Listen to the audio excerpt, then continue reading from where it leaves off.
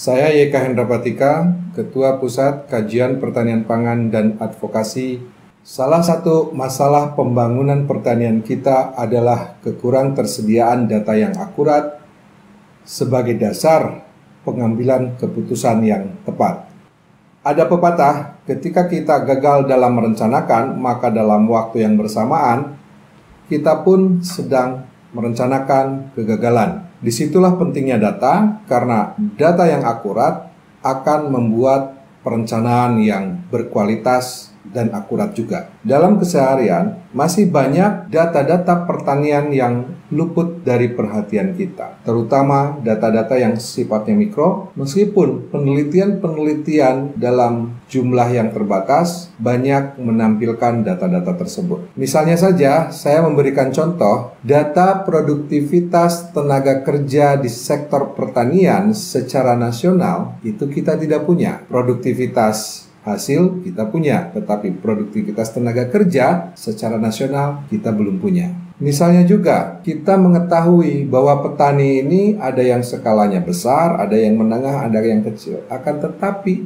data pendapatan petani skala kecil itu pun kita tidak punya. Misalnya, data luas lahan pertanian yang menerapkan sistem pertanian berkelanjutan itu pun kita tidak punya. Padahal data itu penting untuk melihat kemajuan petani kita dalam perspektif menjaga kelestarian lingkungan. Selain itu, misalnya juga data kontribusi tenaga kerja perempuan di sektor pertanian kita pun tidak punya. Padahal data itu sangat penting untuk menjamin hak-hak perempuan agar mendapatkan perlakuan yang adil dan pendapatan yang layak. Kita tahu sekarang di desa tenaga kerja pria semakin sedikit. Misalnya juga data mengenai hak dan kepemilikan lahan. Kita memahami bahwa sekarang ini banyak petani penggarap yang mereka mengolah lahan milik orang lain, tetapi lahannya milik siapa itu pun kita tidak punya apakah masih milik orang di sekitar desa tersebut atau jangan-jangan sudah dimiliki oleh di luar desa tersebut. Pendeknya, data-data strategis tadi itu akan muncul dalam Agricultural Integrated Census atau AGRIS atau dikenal juga dengan sensus pertanian berstandar internasional yang akan dilakukan oleh BPS. Saya YK Hendra Patika, Ketua Pusat Kajian Pertanian Pangan dan Advokasi, mendukung terhadap rencana BPS dalam melaksanakan AGRIS atau sitasi demi penyediaan data-data yang lebih akurat di perdesaan sehingga kita bisa lebih mengenal desa dengan baik dan ke depannya kita mampu menyajikan pembangunan pertanian di perdesaan yang lebih baik,